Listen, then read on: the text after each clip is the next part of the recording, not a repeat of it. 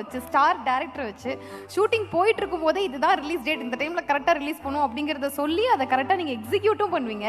அந்த விஷயம் எப்படி சார் உங்களால முடியுது? இவ்வளோ பெரிய கேஸ்ட் அண்ட் க்ரூ வச்சுட்டு விஜய் சார் சொன்னேன் நான். நம்ம அனௌன்ஸ் பண்ணும் போது ரிலீஸ் டேட் போடலான்னு. உனக்கு அவ்வளோ தைரியம் இருக்கா? ரிலீஸ் டேட் போட்டு நீ படத்தை கொண்டு வரதுக்கு? அப்படின்னாரு. பண்ணிடுவோம் நான் நம்பிக்கை இருக்கு அப்படின்னு.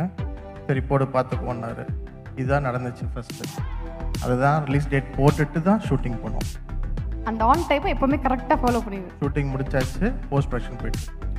எஸ் சார் ஸோ இப்போ லியோ வந்து எல்சியூ அப்படின்னு நிறைய பேர் பேசிட்டு இருக்காங்க. விட்டு கேட்க போறது இல்ல பட் இருந்தாலும் ஒரு அசம்ஷன் வச்சுப்போம் சார் எல்சியூனே வச்சுப்போம். அப்படி இருந்தா ஆஸ் அ ப்ரொடியூசரா லியோ வந்து ரோலெக்ஸ் கேங்ல இருந்தா நல்லா இருக்குமா? இல்ல ரோலெக்ஸ் ஆப்போசிட் கேங்ல இருந்தா நல்லா இருக்குமா? As a ப்ரொடியூசரா உங்களோட ஃபீலிங் நீங்கள் படம் பார்த்தீங்கன்னா உங்களுக்கு புரியும். சூப்பர் எக்ஸ்பெக்டட் சார் சரி லியோ பத்தி எதனா ஒரு எக்ஸ்க்ளூசிவ் அப்டேட் நிறைய கொடுத்துட்டு தாங்க இருக்கோம். நெக்ஸ்ட் ஆகஸ்ட் ஃபிஃப்டீன்த் ஒன்று எக்ஸ்பெக்ட் பண்ணலாம். அர்ஜுன் சார் பர்த்டேக்கு ஓகே ஆகஸ்ட் 15th ஒரு அப்டேட் வெயிட் பண்ணிட்டு இருக்கீங்க சார் மதன் கௌரி பொறுத்த வரைக்கும் நீங்கள் ட்ரெண்டிங்கில் நம்பர் ஒன் இருக்கணும் அப்படின்னா நீங்கள் ட்ரெண்டிங்கில் இருந்தாகணும்.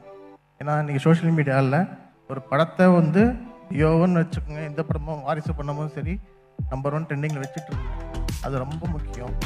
சுல்தான் வந்து ஸ்டார் ஹீரோ